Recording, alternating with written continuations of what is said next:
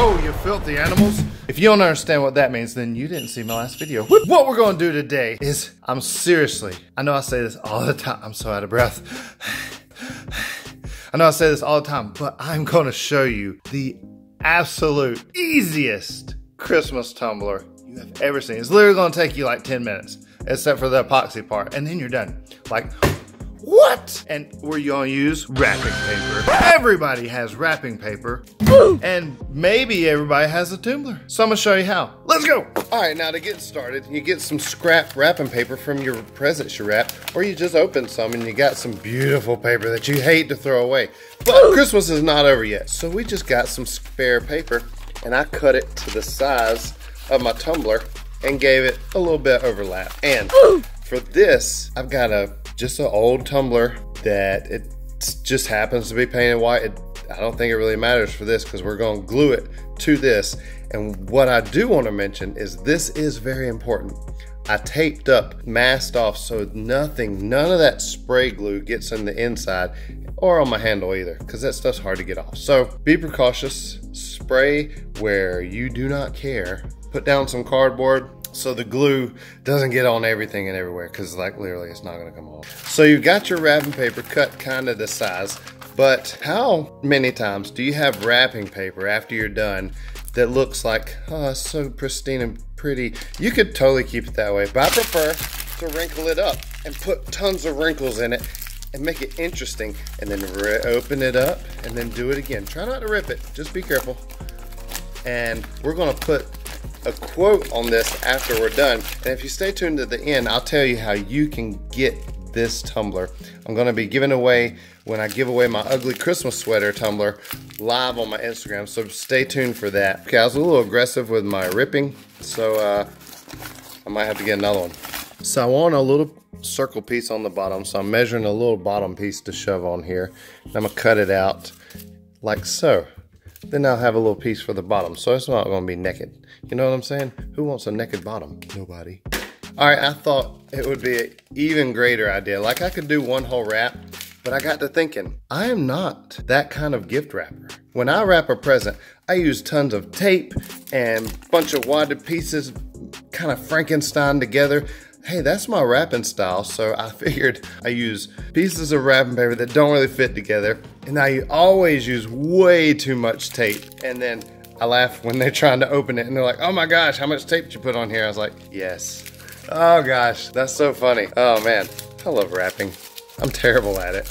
Let's get the spraying. So really, I'm not gonna do this on camera because I'm just gonna spray this tumbler uh, with this. Just literally you wait like 60 seconds. And I'm gonna do this on the other side. I got a piece of cardboard over here. I'm gonna spray this side too. So I spray this and this, and then literally just stick it on. And we'll cut off the excesses after a little bit and after we get done, okay? So I bring you over here to my, oh gosh. Hey, how you doing? To my spray a play lounge over here where I'm gonna spray my uh, spray glue. Guys, this is literally my sophisticated setup. Hey look, a box of Steel Magnolia tumblers. I love those things. I'll show you this, see if you can see it. I loaded that bad boy up with spray glue and it sprays out kind of not, it's not like spray paint or anything. So I just wanted you to know what to expect. And I went around this mug like a bunch of times and of course don't forget your bottom. So now we're just gonna pick the first piece and stick it on. I don't know how we're gonna do it. Let's just do it. Tack that mug on, rub it. Oh hey, you're down here. Rub it smooth and keep on moving. Cover it up. Cover that bad boy up. Let's get another one. So sticky. Of course, you can do it however you want to. I'm trying not to do it neat, but it really just lined up just like that. I'm not doing that. Don't do that. I mean, I don't want it neat. I want it to look like a hodgepodge mess. You know what I'm saying? Exactly. So just take your time or not. I don't care. Do it however you feel like doing it. I think I'm going to rip this right here. And then we're going to put this down here. Oh, my fingers are stuck. What? Look at that. That's going to be so funny when I get all these done. Put another one right here. Try to do like a little puzzle. All right, go down here. Look at that bad boy. Wrap that mug up. We got a couple more. Just don't be too careful with it. Just put it on there. One thing I do want to mention, just try and not try to smooth out the wrinkles because you don't want any epoxy leaking under there. I mean, it's ugly, but you want it to work. And cover up all your naked tumbler parts under there and you shall be Beautiful, beautiful. I think I got all my tumbler covered. Like literally, that was so fast. It's gonna be so funny when I put pieces of tape over here. Oh, I gotta do the bottom part. Let me rip this off. Literally, I'm being so careful and strategic, technical with this wrapping technique. Put the bottom on there real good. Bada bing, bada boom. There we go. Rub it from the middle out, smooth that bad boy, wrap it around. Oh, that's awesome. Look at that. That's terribly awesomely wrapped. This is literally how my presents look when I get done wrapping them. Now, this is just for fun and for funny and joke. If you really wanted to do it neatly, you could totally just use this and it'll be like if you want a beautiful tumbler, you can totally do it like that in one piece. It'll be you see how beautiful that is. I mean, that's nice. But I like to show y'all different options and I like to make things that tell a story, that are funny, and that represent like me, literally. This is how I wrap presents. Ask my wife. So now I'm gonna go get some tape. I'm just gonna put random pieces of tape where the seams are to look like, oh, look at that. It's got fingerprints on it too. Like that, literally, look at that. Focus. Oh, that sells it. That is so perfect. That's exactly what I was looking for. Boom. Just put them just on the seams or who cares? Just put it wherever. And the thing about it is, uh, if you get the invisible tape, it won't show up as good. This is the frosted.